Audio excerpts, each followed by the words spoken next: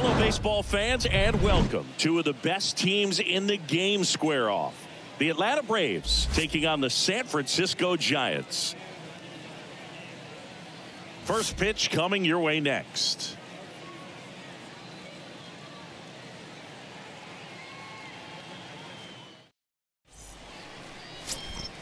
So now to the plate for Atlanta, Gerald Raymond. Batting third. And every at bat's a big one for him now as he looks to keep this amazing hitting streak going. And first offering is fouled off.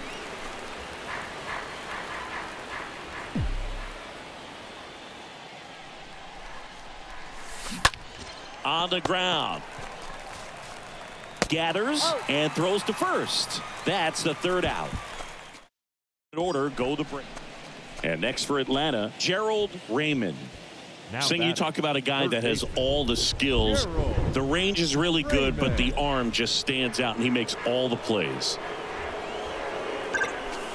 And the first offering is not close. And because of that big Oh, power arm, he's able to play a little bit deeper, make throws from the outfield grass all the way across the diamond, and still get a pretty good runner. That's impressive. Left field, Foster settles under it. Makes the catch inning over. At the plate, Gerald Raymond. There's a buzz in the stadium every time he comes to the plate as he tries to extend his hitting streak. Raymond.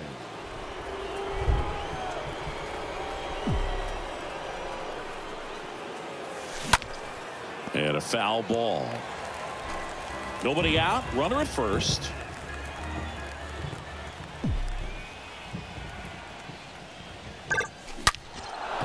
Hammered. Base hit. Lead runner to second. So two on and nobody out. And that'll keep his Now hitting streak alive. He's reaching heights that very few players ever have. Yeah, when you're over the 30 game mark and showing no signs of slowing down, that's when the baseball world starts to get a little excited. This has become the story in the league right now. You start checking off the days until the next benchmark 40, 44. Oh, this one high and deep, way back there. And it's into the bleachers, out of here. He sends a rocket to left, and they add to their lead. It's 7-3.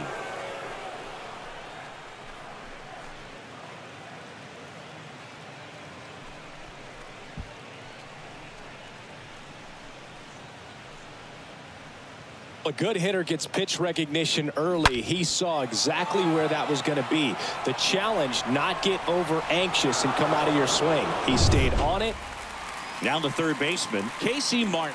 Now batting. It's interesting he plays kind of a, a power Casey. spot defensively, but runs pretty well. So when you're looking at that position, you're not expecting someone that has maybe above average speed, but he does.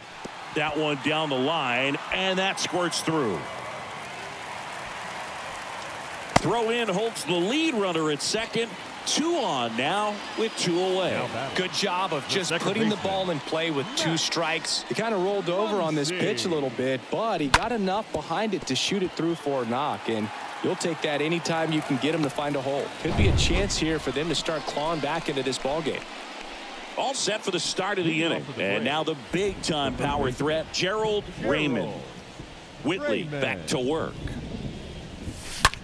That one is absolutely belted. That's bad. Pulls it in on the warning track. Every day during batting practice, Now these batting. outfielders Right get fielder. about 10 minutes of balls in the. Now in for the Braves, Gerald Raymond. Now batting. He's not going to get The cheated up there. No, he's not. He's looking to do damage with Raymond. every swing he takes. And a seed into center. That's a base hit. Ramos to third. Not in time. He's safe. You got to get on your horse and get to that thing and get it back in because he's going to come barrel around first. He's going to put pressure on you. If you bobble it or you don't get there in a hurry, he's going to make you look silly and end up on second base. Second and third, one gone. Julio Rodriguez. Next up for the Braves. That's towards center. Ramos makes his way towards it. No trouble here. Puts it away for the out. Both runners tagging from second and third. Just ahead of the throw, he scores. And it's now a six-run lead. The center fielder, Michael Harris. So now to the plate for Atlanta, Michael Harris. And this is a big opportunity for him to pick up his teammate right here. Next, he didn't drive it here. And here it comes. Lifted in the air right center field. Myers moving under this one. Squeezes it. And that is that. 8-9-1 due up in the bottom of inning number nine. Braves nine and the Giants three.